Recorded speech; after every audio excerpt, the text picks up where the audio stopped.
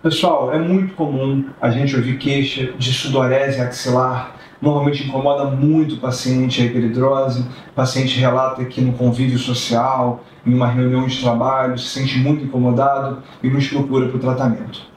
Antigamente não tinha outro tratamento a não ser cirúrgico.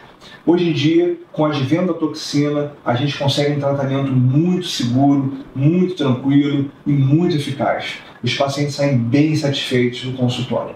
Como é que funciona, pessoal? A gente atua com a toxina botulínica na região das axilas. É uma aplicação muito fácil de fazer. A toxina ela tem o efeito de bloquear o neurotransmissor que estimula a produção do suor.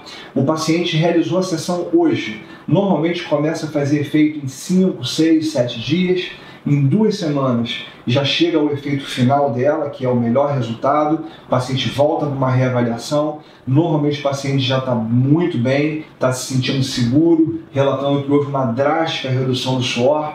E, e quanto tempo dura, pessoal? A toxina botulínica, a gente sempre fala que dura de 4 a 6 meses.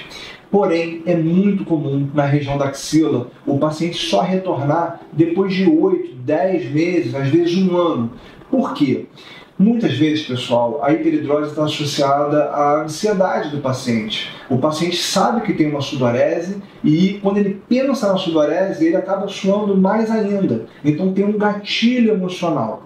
Quando a pessoa faz a toxina, ela se sente protegida pela toxina. Isso é muito interessante, porque uma vez que ela se sente confiante que não vai ter aquela sudorese, ela mesmo relaxa e a produção de suor acaba reduzindo até de forma fisiológica, até de forma natural. Então, além de, da toxina bloquear de forma eficiente a produção do suor própria do paciente, ela também ajuda no emocional e o paciente acaba retornando ao consultório no intervalo muito depois do que normalmente é estabelecido.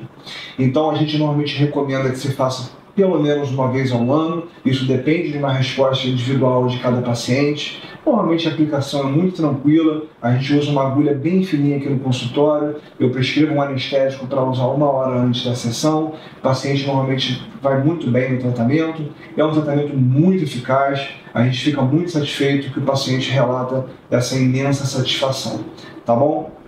Venham ao consultório para que a gente possa explicar com mais detalhes. Foi um grande prazer. Obrigado por assistir o vídeo. Fiquem com Deus. Um abraço.